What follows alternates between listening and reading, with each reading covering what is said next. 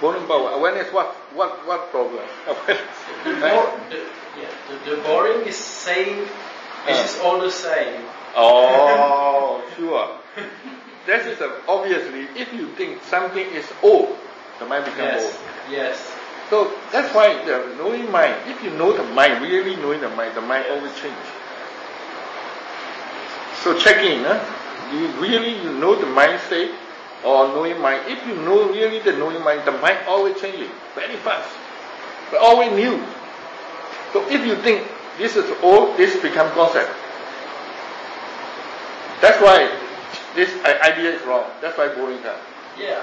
I have the intellectual knowledge, Mm. but it still still doesn't doesn't work. That's why you you check your awareness is you know the awareness is not changing, then come back to the physical and uh, object and awareness both come back.